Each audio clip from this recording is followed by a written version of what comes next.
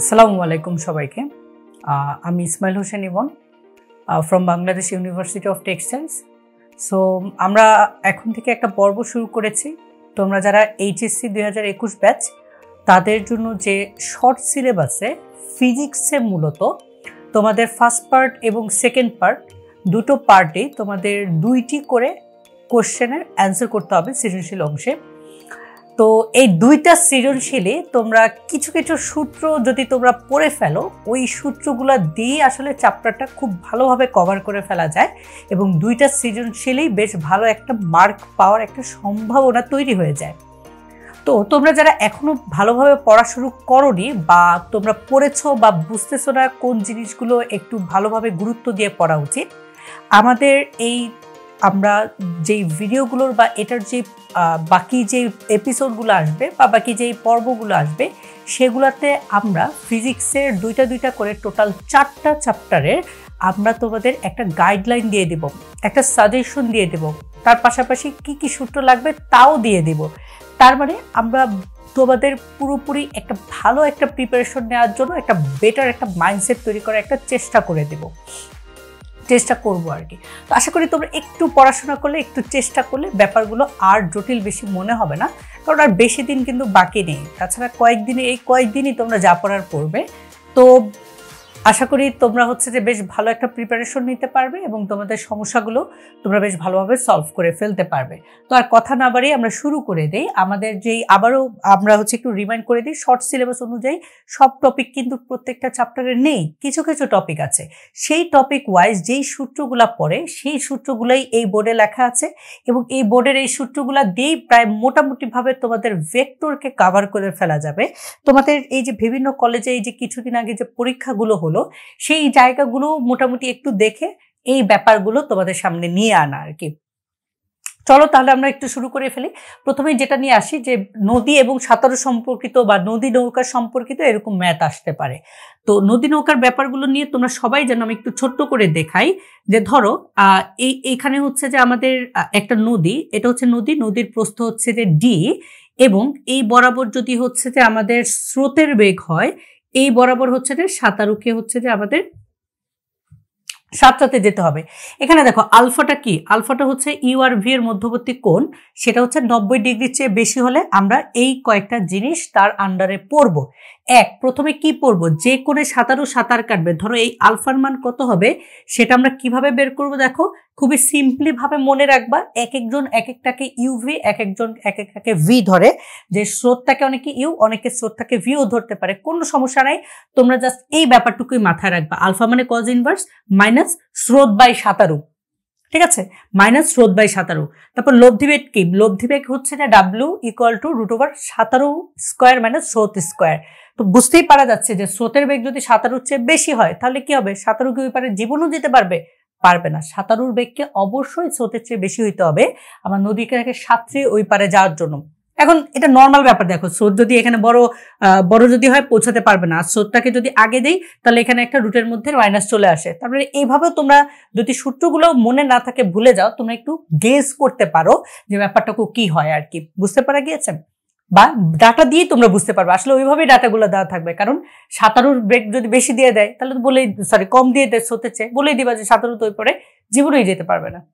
তো তাহলে এখন ওই ব্যাপারটাই তোমরা বুঝতে পারো। আবার এভাবে তোমরা বুঝতে পারো যে কজের সামনে কখনো কিন্তু হচ্ছে একের বড় নাম্বার হইতে পারে না। ঠিক আছে? কজ ইনভার্স আমার এখানে মাইনাস ওয়ান থেকে প্লাস ওয়ান থাকবে। এখন কোশ্চেনের ডাটা অনুযায়ী তোমরা যদি ভুলেও যাও এই সূত্রটা, স্রোত বাই সাঁতারু নাকি সাঁতারু বাই স্রোত তোমরা কিন্তু এই বেসিক এই নলেজ দিয়ে আইডিয়া করতে পারবা।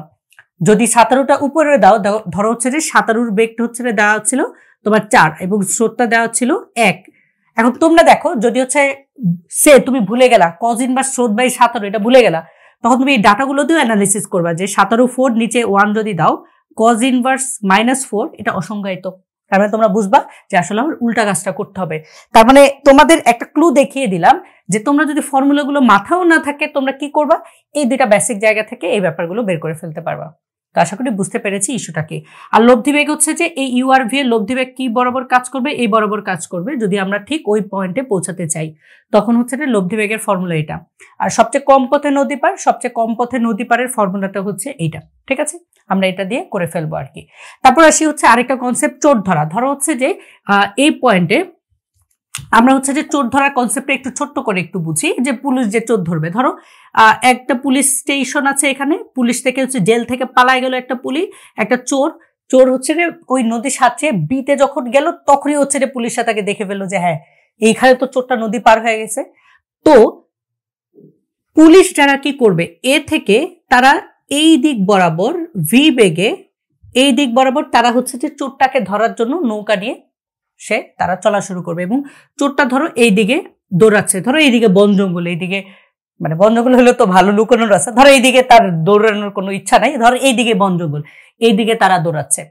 এখন চোর ধরা কি? ধরো তারা যদি এই আলফাটা দেখো নাইনটির চেয়ে কম হয়, আর আলফা যদি এখন নাইনটির চেয়ে বেশি হয়, তারা কি আর চোরটাকে ধরতে পারবে জীবনে চোরটা তো ওইদিকে আগাই যাবে এবং তারা তো কেবলমাত্র ওইখানে গিয়ে পৌঁছাবে। তাহলে কি চোরকে জীবনও ধরতে পারবে? পড়বে, পারবে না। এই জন্য আলফার মানকে নব্বই চেয়ে ছোট হইতে হবে। এখন আসি, চোরটাকে যদি ধরতে হয়, চোরটা ধরো কি করতেছে? এই পাশ থেকে সামনে দাঁড়িয়ে ধরো হচ্ছে যে, পুলিশরা নৌকা নিয়ে যখন ওই পারে পৌঁছাবে, চোরটা এই বি থেকে ধরো এক্স পরিমাণ দূরত্ব সামনে আগায় গেল। ঠিক আছে? আগায় গেল।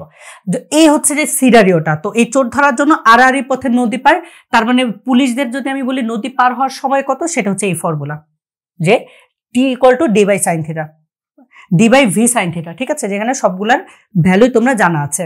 আর দূরত্বটা কি? দূরত্ব মানে হচ্ছে যে কত দূরত্ব গেলে চোরটাকে ধরতে পারবে। তো এটা হচ্ছে যে এই ফর্মুলাটা ঠিক আছে? এগুলো প্রুফ টুফ আমরা দেখাচ্ছি না, আমি জাস্ট বলে দিলাম। তাহলে নদী এবং সাঁতারু সম্পর্কিত সমস্যাগুলো আমরা দেখে ফেললাম। তারপর বৃষ্টি ও ছাতা, এটা হিউজলি আসে, এটা মোস্টলি আসে। তো এটা হচ্ছে আরও বিভিন্ন জায়গায় অবজেক্টিভও বিশেষ করে আসে। তো অনেকের এটা ভুল হয়। তো আমরা জাস্ট দেখে রাখব যে এখানে কত কোণে ছাতা ধরতে হবে সেটা হচ্ছে ফর্মুলা সেটা হচ্ছে ভিএম বাই ভিআর ভিএম কি? মানুষ। ভিআর কি? বৃষ্টি বা রেইন ঠিক আছে? তো মানুষ, মানুষের বেগ বাই বৃষ্টির বেগ, ঠিক আছে? এই দুইটা হচ্ছে অনুপাত করলে আমরা হচ্ছে ট্যান থিটা পাবো। Theta equal to tan inverse করে দিলে কত কোণে ছাতা ধরতে হবে সেটা আমরা পেয়ে যাব এবং কত কোণে ছাতা ধরতে হবে এটা হচ্ছে যে আমরা বুঝতে হবে আর কি। এই যে বৃষ্টি বৃষ্টি হচ্ছে যে এদিক বরাবর পড়বে আমাদের এই বৃষ্টির সাথে এই কোণটাকে আমরা থিটা ধরতেছি, ঠিক আছে? থিটাটাও বুঝতে হবে। যদি হচ্ছে যে বলে আনুভূমিকের সাথে কত কোণ, তখন থিটাটা বের করে নাইনটি মাইনাস করে দিবা। আর যদি বলে যে বৃষ্টির সাথে, উলম্বভাবে পরন্ত বৃষ্টির সাথে কত করে ধরতে হবে, তখন আমাদের এই থিটা দিয়ে অ্যান্সারটা দিয়ে দেবা। বুঝছি ব্যাপারটা? আর ভিএম ভিআরএম হচ্ছে এটা হচ্ছে একটা আপেক্ষিক বেগ। এটা হচ্ছে ফর্মুলাটা কি? Root over VM square plus VR square এটুকু আপাতত জানলে হবে যে মানুষের তুলনায় বৃষ্টির আপেক্ষিক বেগটা কত? যে মানুষের সাপেক্ষে বৃষ্টির আপেক্ষিক বেগ কত? তো তাহলে এইটুকু অংশ আমরা বুঝে ফেললাম। তো এখন আসি যে আরেকটা পার্ট নিয়ে আসি, যে এই ভেক্টরের ফার্স্টের পার্টের আলোচনাটুকু হলো সেকেন্ড পার্টের আলোচনা ক্ষেত্রফল এবং আয়তন বের করা। এটা একটা ইম্পর্টেন্ট একটা টপিক ওই যে বলেছিলাম যে বিভিন্ন কলেজের কিছুদিন আগে পরীক্ষা যে হলো, সেগুলোতে প্রায় ভেক্টরে এই জিনিসগুলা অনেক জায়গায় আছে, তোমরা নিজেরও একটু খেয়াল করলে দেখতে পারবা। যে ক্ষেত্রফল বের করা, তোমরা তো জানোই, যদি ত্রিভুজ এর দুইটা সন্নিহিত বাহু আমার দেওয়া থাকে ভেক্টর আকারে, তার ফর্মুলা হচ্ছে হাফ ইন্টু তার ক্রস গুণফলের মান। তারপর যদি সমান সামান্তরিকের দুইটা সন্নিহিত বাহু বাহু দেওয়া থাকে, তাহলে তাদের ক্রস গুণফলের মান। যদি কর্ণ দেওয়া থাকে, হাফ ইন্টু ক্রস গুণনফলের মান। আচ্ছা তো যেটা বেশি আছে সেটা হচ্ছে যে আরেকটা, সেটা হচ্ছে আয়তন বের করা। ধরো তিনটা ভেক্টর দেওয়া আছে। এ ভেক্টর দিয়ে A X I hat A Y I hat A Z K hat R B vector হিসেবে বি এক্স আই হ্যাট এই ব্যাপারটুকু তোমরা বুঝতে পেরেছ। আর C day C X I hat C Y J hat C Z K hat এরকম দেওয়া আছে। তো আয়তন কীভাবে বের করব? দুইটা পদ্ধতিতে করতে পারো। এক, তোমরা নির্ণায়ক দিয়েও করতে পারো। নির্ণায়ক কি? দেখো হচ্ছে আই হ্যাট জে হ্যাট এবং কে হ্যাটের সহগুলা দিয়ে জাস্ট আমরা নির্ণায়ক বের করতে পারি।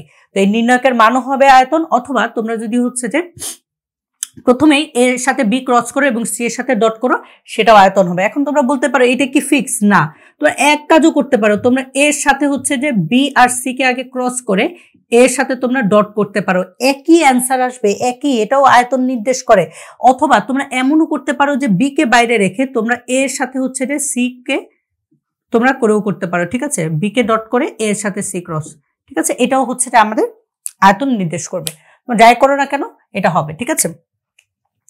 আচ্ছা তো এখন আসি হচ্ছে আরেকটা ইম্পর্টেন্ট দেখো, এটা হচ্ছে রেড কালার দিয়ে মার্কিং করে দিয়েছি। তিনটা ভেক্টর সমতুলীয় হওয়ার শর্ত। সেটার কিছুই না, তার আয়তন বের করে শূন্য দেবো, আর কিছুই না। এই যে A cross B dot C করতে পারো, অথবা এইটার যে কোনো একটা করতে পারো ইকুয়াল টু জিরো দেখাবা। অথবা তাদের যেই আমাদের নির্ণায়ক থাকবে, তার মানটা জিরো যদি তোমরা বের করতে পারো ওই যে সহগগুলা নিয়ে আই হেড জে হেড এবং কে হেডের তাহলে তোমরা বলে দিবা যে ভেক্টর তিনটা সমতলীয় বুঝতে পেরেছি? মানে একই তলে আছে।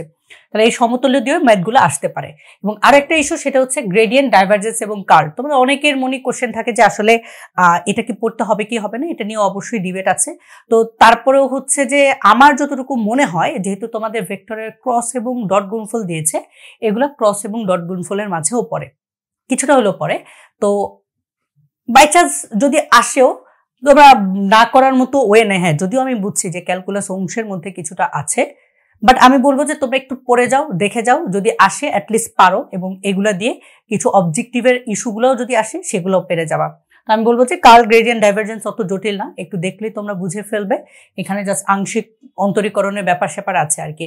তো এইভাবে আর কি যে তোমরা মোটামুটি তোমাদের ভেক্টরটা গুছিয়ে ফেলতে পারো।